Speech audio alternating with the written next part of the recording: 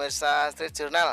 Kali ini kembali di Street Journal menampilkan hal-hal yang menarik. Dan saat ini saya berada di kawasan Mutian Kelurahan Sundaan Kota Solo Untuk mengulik sesuatu yang menarik yaitu tentang pengrajin pelana kuda. Contohnya ini ini, ini pelana kuda. Ini biasanya di punggung kuda tapi kuda di bendi kuda yang di bendi yang yang untuk pelana yang gede itu ada cuman bawahnya kan ya susah. Ini contohnya ini.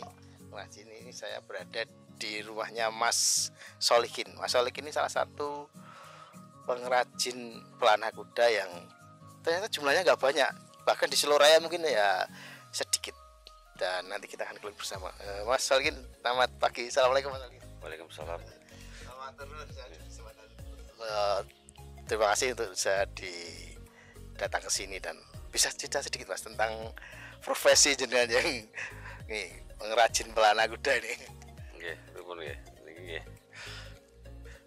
Sing kenang mboten gawean anggakean isane ngene muni ya. Ya. Ya ginilah mas. Dulu itu bapaknya Mas Sulikin ya yang mulai ini ya? Ya ini warisan dari ayah. Yeah. Ini semua untuk produk ini semuanya dari kulit betul semuanya mas ya? Betul dari kulit semua ya. uh, untuk kulitnya dapat dari mana mas? Saya dari Magetan mas. Per kilo per kilo belinya per kilo pemirsa bukan per lembar karena memang agak mahal karena kulit kulit yang ini kan kulit kulit yang sudah disama sudah matang istilah mas ya? Sudah jadi ya. terus proses pembuatannya gimana mas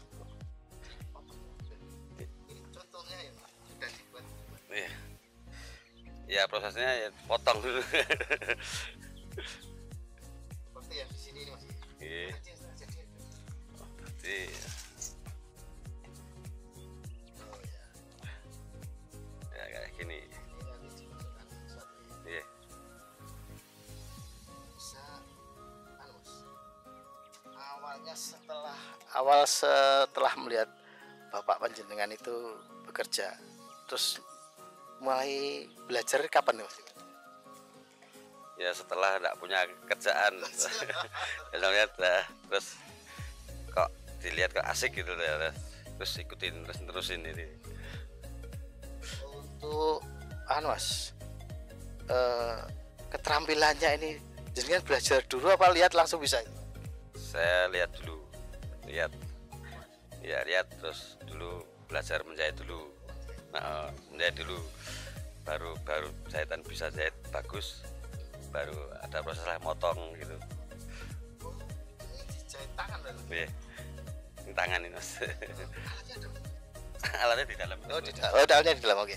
Ya, ini- artinya pemirsa ini ini produk ini dijahit tangan. Ini dijahit tangan pakai tangan ini dikaitkan antara kulit satu dengan kulit yang lain ya terus setelah istilahnya mahir mahir menjahit baru potong-potong Mas. iya ya kalau bentuk ini patokannya apa mas Kalau- kalau mo- pesanan? kalau motif itu anu apa senengan mas ya suka Dasar nah, pesanan. ya pesanan pesanan tapi kalau ukuran tetap sama berapa itu?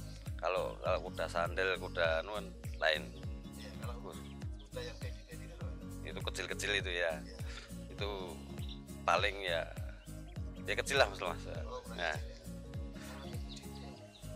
Kalau sandal gitu kalau di Malioboro Jogja itu kan banyak kan sandal-sandal itu Oh ya, andong. andong Oh. Terus kalau yang udah balap itu itu pelana kalau tak Oh, yang kuda balap itu pelana utuh itu ya? Juga buat Mas ya? Oh. Berarti prosesnya agak lama tuh ya yang Kalau ini oh, yang model-model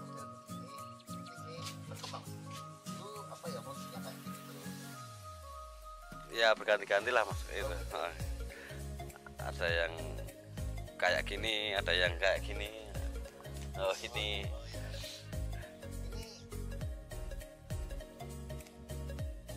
Wisata sudah mulai. Wisata sudah mulai ramai mas. Terpengaruh nggak alhamdulillah ya. Nggih. Ada masukan mulai rame udah. Perekonomian ya udah bagus.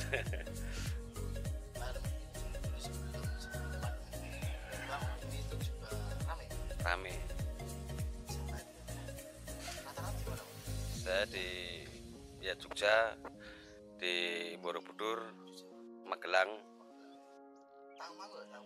Tangmangu. Kalau sana kan Tangmangu khusus kuda tumpak. Mm-mm, mm-mm. Berarti pelana utuh itu Mas. Ya utuh pelana. Jauh tentang eh, harganya mahal gak sih Mas di kali ini? Kalau harga memang kalau kulit memang mahal gitu. Ya kulitnya saudara udah mahal. Itu kuda andong. Nggih, 600. Pemirsa ini harganya 600 Pak. Sabuknya kuda itu 600 Pak. Buat beli sabuknya jenengan dapat berapa ya ini? Tapi ini tuh untuk hanya kuda di andong tuh ya. Berarti berarti satu andong berarti dua loh Pak. Kalau Kudanya satu? Kalau ada yang satu ada yang dua. Mm-mm. Kalau yang kecil-kecil ini. Ini kan buat aksesoris belakang itu. Ya, ya buat apa? Punggung kuda itu. Ini, Gamal ya.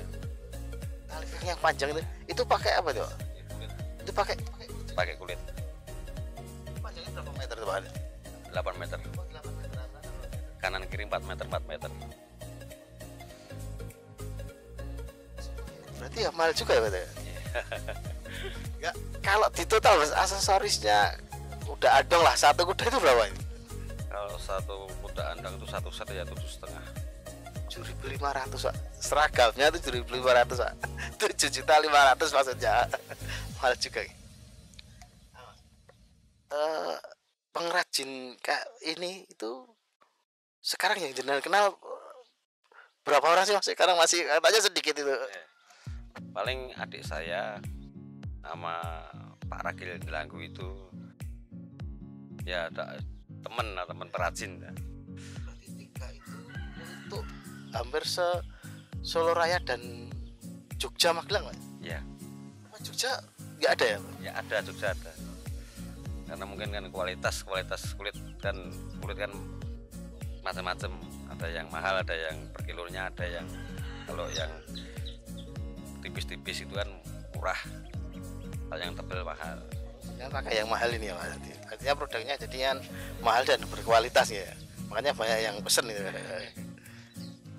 Kemarin Mas Solikin ini setelah Lebaran kemarin itu pelana-pelannya banyak yang laku dan ini ada yang yang masih dikerjakan dan masih sisa nanti biar ada gambarnya dan kalau pelana utuh itu ternyata 7 juta 500 untuk andong ya.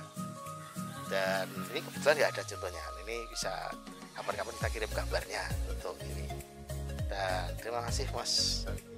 Waktunya